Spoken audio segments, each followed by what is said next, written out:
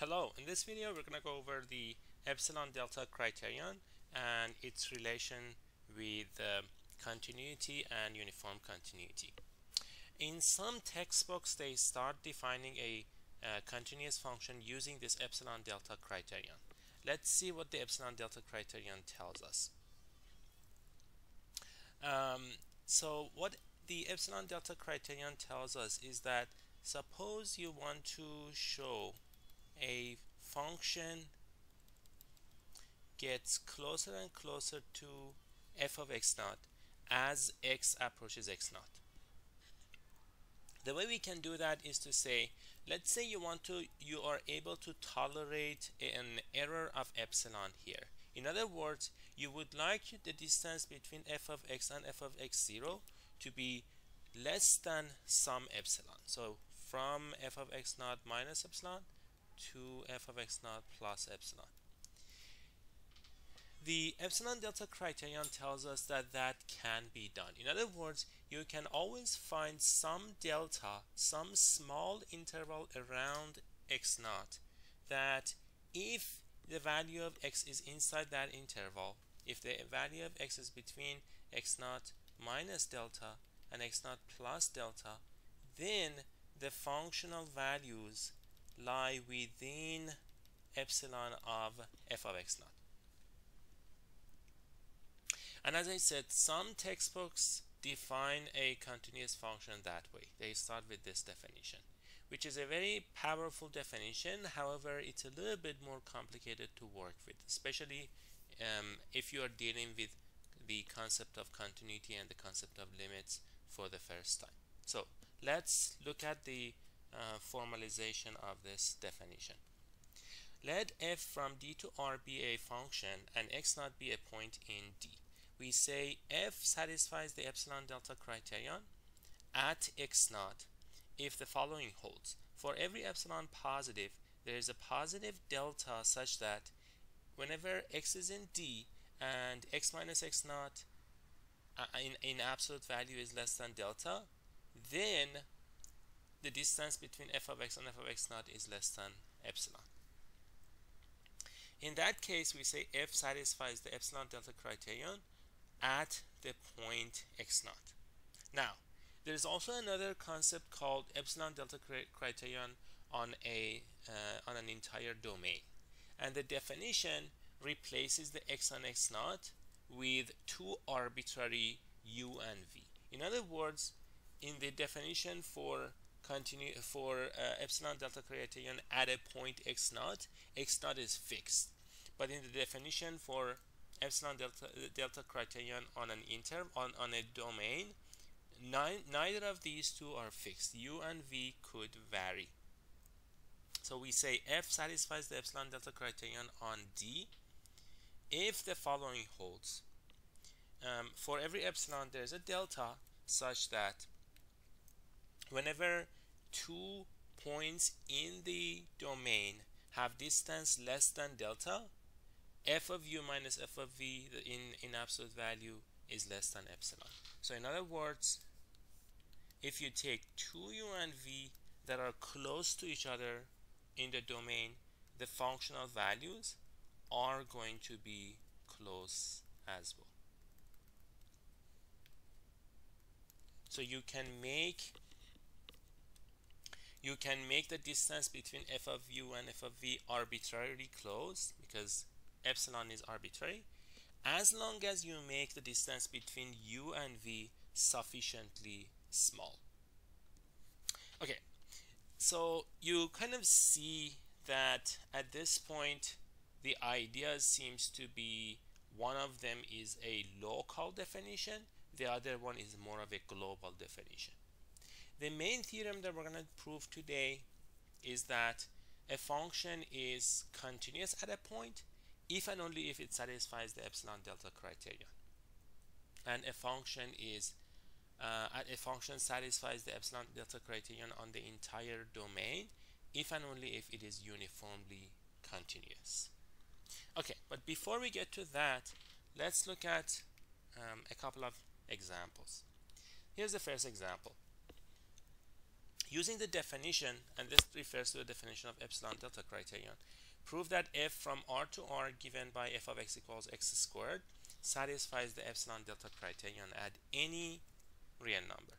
But it does not satisfy the epsilon delta criterion on the entire domain. Okay, so first things first. Let's start with showing that it satisfies the epsilon delta criterion at any real number. So let x naught be that fixed real number and epsilon be some positive real number. Okay, I need to show it satisfy f satisfies the epsilon delta criterion. So I want to show there is some delta positive such that when x minus x naught is less than delta, the distance between x squared and x naught squared is less than epsilon. So this is what I need to show. So I need to come up with an example of delta that depends on epsilon and show that this statement of x minus x naught less than delta implies x squared minus x naught squared less than epsilon um, is uh, in fact valid. Note that delta could be in terms of epsilon and x naught, but it cannot be in terms of x. So x, and delta may not depend on x. It could depend on epsilon or x naught or maybe both, but it cannot depend on x. The way we, we typically do that is we start from the right side from the uh, of the implication. Um, in this case it is x naught x squared minus x naught squared and we are going to um, uh, we're going to we're going to use the assumption of x minus x naught less than delta to find the relation between delta and epsilon. So this is absolute value of x plus x naught times x minus x naught which is less than or equal to x plus x naught times delta. Since x minus x naught is less than delta, I can replace that by delta. What I would like to do is I would like to make this one less than epsilon. So this is what I'm looking for. Okay, so now this is the part that I have to deal with. Um, so this is this is perfectly fine. So the delta is perfectly fine. This portion may go to infinity. If you let, if you allow x to be become become very large, then x plus x naught could be very large. It could go to infinity, which could be which would be problematic. So we um, we can fix that one by making the, by by noticing that since x minus x naught is less than delta, x would be around x naught. So roughly speaking, this is roughly like 2x naught, absolute value of 2x naught. Um, of course, it's not equal to, it's like approximately that. In order to fix this, turn this approximation into something rigorous, we need to use inequalities. So we know x minus x naught is less than delta. We are going to make sure delta is less than 1 or maybe even equal to 1 in order to be able to put an upper bound on um, on x. So what we get is this. We get absolute value of x is less than absolute value of x minus x naught plus absolute value of x naught by triangle inequality which is less than 1 this is less than 1 plus absolute value of x naught so we're going to make sure that absolute value of x um, uh, minus x naught is less than 1. So notice that I need this. So this is an assumption that I need to make. And it is up to us to provide delta so we can limit delta as we wish. So that's uh, one thing. Now we're going to take this and plug it into what we found up here. So we're going to plug that in there. So absolute value of x plus x naught is less than or equal to absolute value of x plus absolute value of x naught, which is less than. Absolute value of x is less than 1 plus absolute value of x naught. So that would be 1 plus, and then there's another absolute value of x naught, so we get 1 plus 2 absolute value of x naught. So what I am going to eventually get is if I take this one and plug it into here, I will get 1 plus 2 absolute value of x naught times delta is less than epsilon and that means delta is less than epsilon over 1 plus 2 absolute value of x naught. Now let's see what we have. We have delta is less than this quantity epsilon over 1 plus 2 absolute value of x naught and we also have that delta is less than or equal to 1. We need delta to be less than both of these. So think about what we need to do in order to find something that of course delta must also be positive. That is less than 1 and less than epsilon over 1 plus 2x naught 2 absolute value of x naught. So what we can do is we can make both of them smaller and take the minimum. So we're going to take the minimum of two things that make it less than or equal to 1 and less than epsilon over 1 plus 2x naught. Okay, so let's start with that. So let delta be minimum of, so I want delta to be at most 1, so I'll set it minimum of 1 and epsilon over 2 plus 2 absolute value of x naught. So note that since epsilon 1, 2 and absolute value of x naught um, uh, these are positive. And absolute value of x naught is greater than equal to 0 delta is positive. Also what we know is that delta is not exceeding 1 and delta is less than epsilon over 1 plus 2 absolute value of x naught. We know this. Now suppose x minus x naught is less than delta. If x minus x naught is less than delta, then we're gonna get absolute value of x squared minus x naught squared, which is what we wanted to show that it is small. That is equal to absolute value of x plus x naught times x minus x naught. And that's less than or equal to, this guy is less than or equal to absolute value of x naught, x plus absolute value of x naught times this guy is less than delta which is less than so I know absolute value of x is less than epsilon over uh, 1 plus 2 x absolute value of x naught. Um, oh we don't know that yet. Okay so let's start um, okay. So we're gonna go ahead and first limit x. Yeah I missed that one.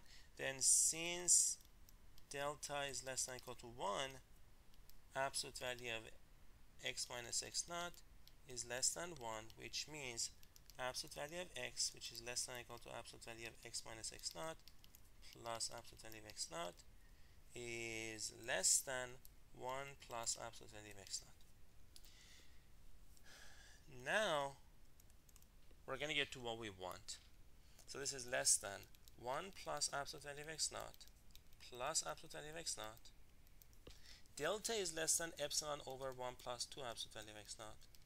And this product is epsilon. So that means the distance between x squared and x naught squared is less than epsilon. And therefore, the function that they gave us, f of x equals x squared,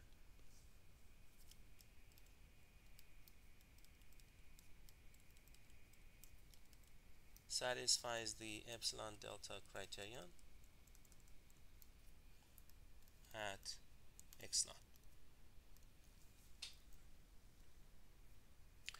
And this is valid for every x naught. okay, let's now look at uh, the next part of the example. The next part of the example is to show um, it does not satisfy, this function does not satisfy the epsilon delta criterion over the entire real line. Since we are trying to prove negatives, let's assume that it is, um, by contradiction, assume it does satisfy the epsilon delta criterion. So on the contrary, assume if um, satisfies the epsilon delta criterion on the entire real line. So what that means is um, let's work on that on the right and then we'll turn it into a proof on the left. So for every epsilon positive there's a delta positive such that whenever u minus v is less than delta, the distance between u squared and v squared is less than epsilon. Okay. So if u and v are close to each other, then u squared minus v squared are also close to each other. But that cannot be the case because if this is a small, you could make this one very large. So let's just say u minus v is delta over 2 and u plus v is 1 over 2 delta. Then the product becomes 1.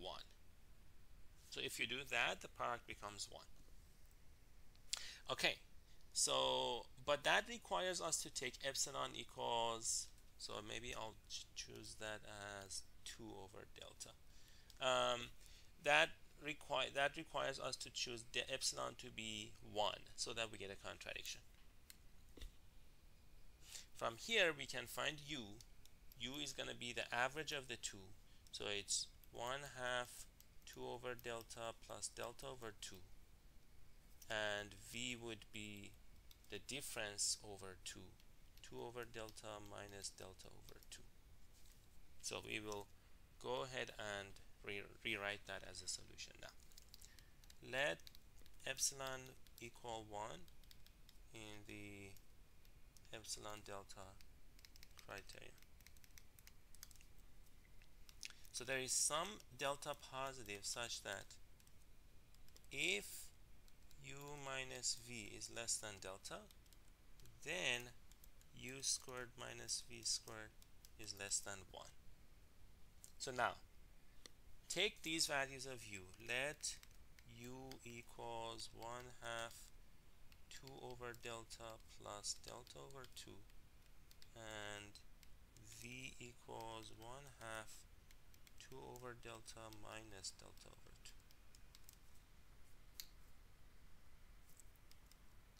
Note that u minus v, the 1 half 2 over delta cancels and we get delta over 2. So that is less than delta. Thus,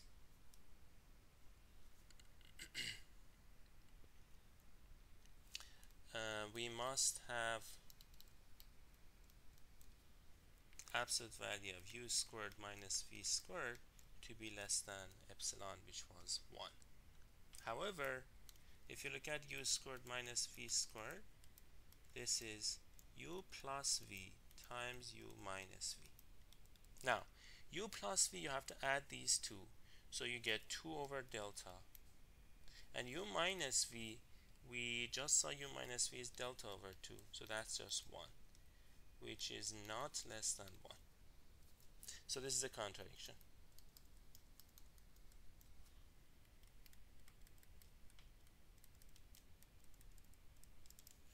Therefore, the function f of x equals x squared is not does not satisfy the epsilon delta criterion.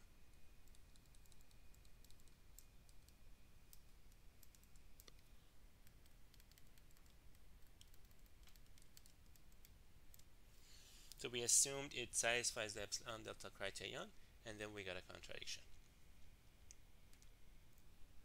Okay, so that was an example of a function that satisfies the epsilon delta criterion at every point, but it does not satisfy the epsilon delta criterion at the uh, on the over the entire domain. Next example is a, uh, is an example of a function that satisfies the epsilon delta criterion on the entire domain. So let's go over that. Using the definition, prove that f from 0, 1 to r given by f of x equals x over x plus 1 satisfies the epsilon delta criterion. So again, in order to show that it satisfies the epsilon delta criterion, we have to start from epsilon positive and then find some delta. So let epsilon be positive so we're going to work on the uh, details of this on the right as usual and then we're going to write it down on the left so we start with u minus v being less than delta and that should imply u over u plus 1 minus v over v plus 1 is less than epsilon. We start from the right side. We get uv take the common denominator minus uv minus v over u plus 1 times v plus 1 the numerator is going to be u minus v and the denominator remains the same. And notice that u and v are between 0 and 1 numerator is less than delta by assumption I would like to make the denominator as small as possible in order to get something larger. The smallest possible value of u plus 1 is 1 and the smallest possible value of v plus 1 is also 1. So this is just delta. So if I take epsilon to be equal, if I take delta to be equal to epsilon, then I would be done. So if u minus v is less than epsilon and u and v are between 0 and 1 then what I would get is the distance between f of u and f of v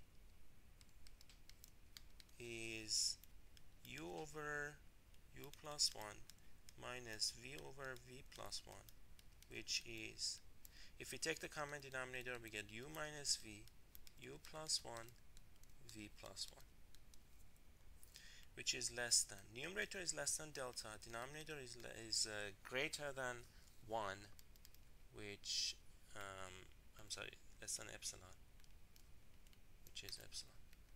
Thus f satisfies the epsilon delta criterion with delta being exactly the same as epsilon. So we showed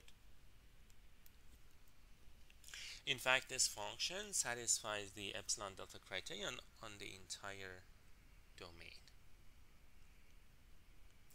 Okay so finally so we looked at an example of a function that was uh, that satisfied the epsilon delta criterion at a point at every point but not uh, over the entire domain now, and then we, we looked at an example of a function that satisfies the epsilon delta criterion on the entire domain.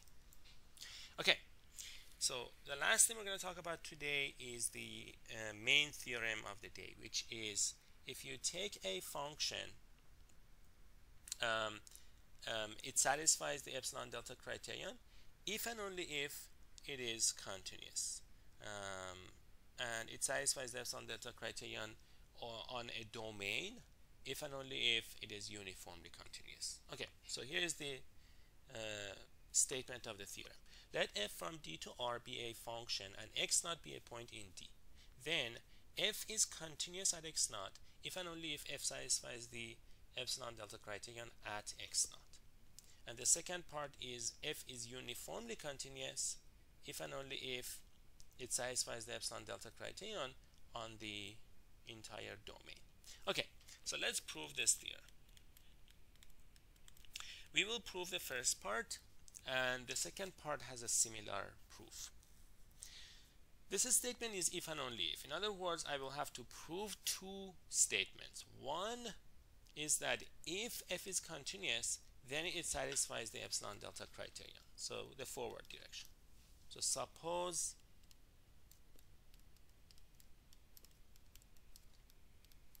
f is continuous.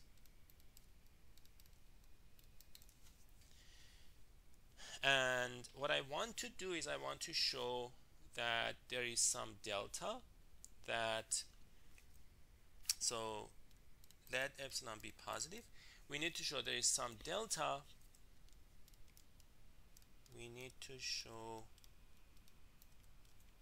there is some delta positive such that if x is in D and x minus x naught is less than delta, then the distance between f of x and f of x naught is less than epsilon. So this is what I need to show. In order to be able to use the fact that the function f is continuous at x naught, I need a sequence because think about the definition of continuity. In the definition of continuity, you need a sequence of functions approaching x naught.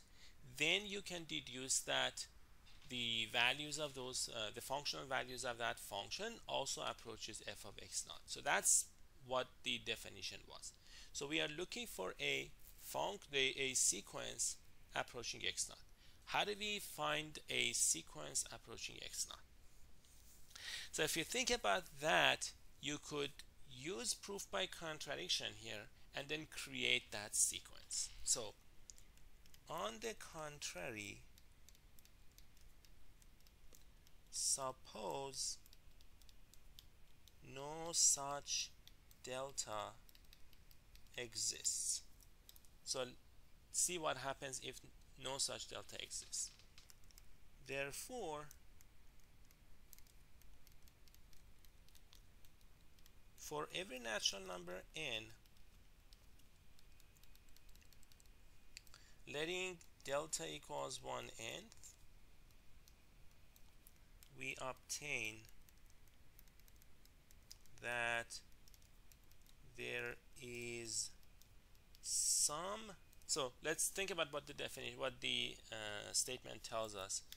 We have that there is some delta so we have to negate that that becomes for every delta that whenever x is in x uh, x is in the domain if x minus x naught is less than delta then absolute value of f of x minus f of x naught is less than epsilon so we need to uh, we need the negation would be there is something that x minus x naught is less than delta but so this is valid this is valid this is valid but this is not valid. The conclusion is not valid. The assumption is true but the conclusion is not true. So there is some x since it depends on n absolute value of um, since it depends on n I will uh, denote it by x sub n. Absolute value of x naught minus x n minus x naught is less than 1 over n but absolute value of f of x n minus f of x naught is not less than or equal to n is greater than or equal to n. Now let's see what the issue is. So by the comparison lemma limit of xn as n approaches infinity is x naught. So if you look at this star, xn must approach x naught because 1 over n approaches 0. Since f is continuous,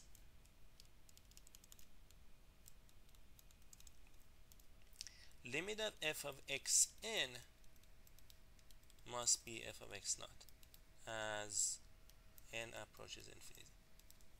So f of x n must approach f of x naught. However, this violates double star because if you think about the double star, double star tells us the difference, the distance between f of xn and f of x naught is more than a positive number for all uh, for all n. But by definition, that cannot happen. Definition of limit tells us if a limit, if a sequence approaches a number, then the difference between that sequence and that number must be less than epsilon after a point. Therefore, f satisfies the epsilon delta criterion. at x naught. Okay, so let's see what we proved. We started from a function that was continuous at a point, and then we showed that the function must satisfy the epsilon delta criterion at that point. Now, we will have to we will have to prove the converse of this. So now assume f satisfies the epsilon delta criteria at x naught. So let's see what we are trying to prove. We would like to prove that um, so we would like to prove that f is continuous at x naught. So let's see what the definition of continuity is. The definition of continuity is if xn approaches x naught, then f of xn approaches f of x naught. So we need to prove, so okay, let's start with assuming that suppose xn in D is a sequence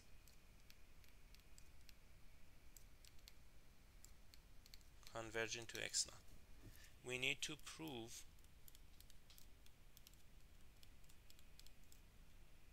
f of xn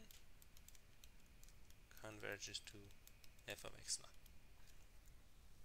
So we would like to prove that f of xn converges to f of x naught. So let's um, write down the uh, definition of convergence. So what we need to show is that f of x n minus f of x naught is less than epsilon. So let epsilon be positive. We need to show the distance between f of x n and f of x naught is less than epsilon. So how can we do that? Well, we could use the assumption that f satisfies the epsilon delta criterion by assumption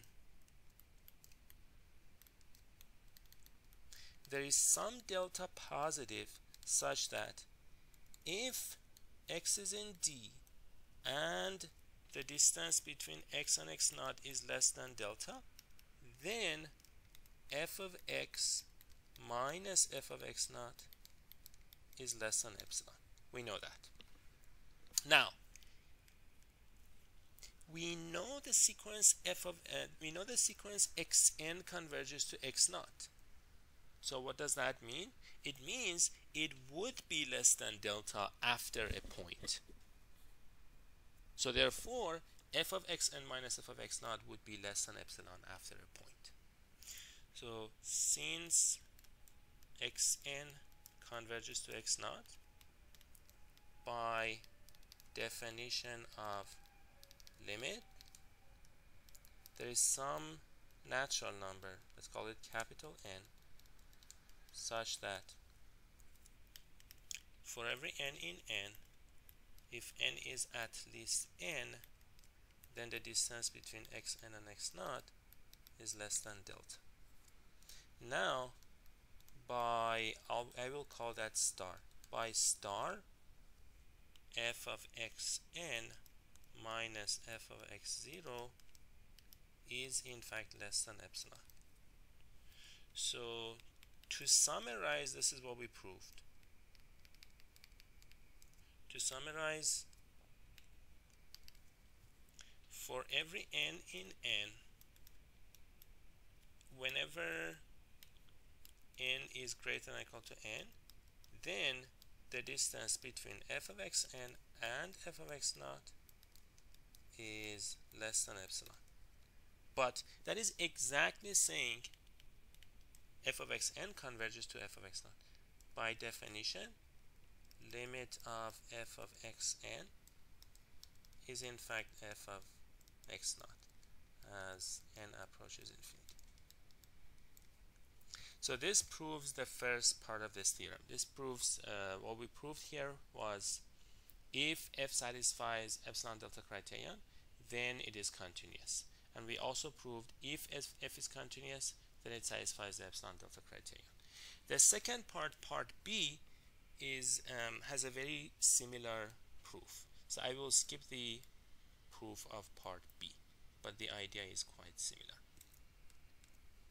So I will emphasize here that B uh, proof is similar.